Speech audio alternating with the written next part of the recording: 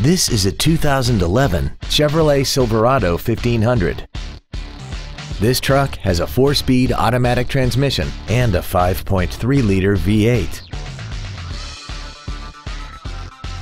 Its top features include a navigation system, a remote start feature, a DVD player, commercial-free satellite radio, traction control and stability control systems, chrome wheels, and a tire pressure monitoring system. The following features are also included.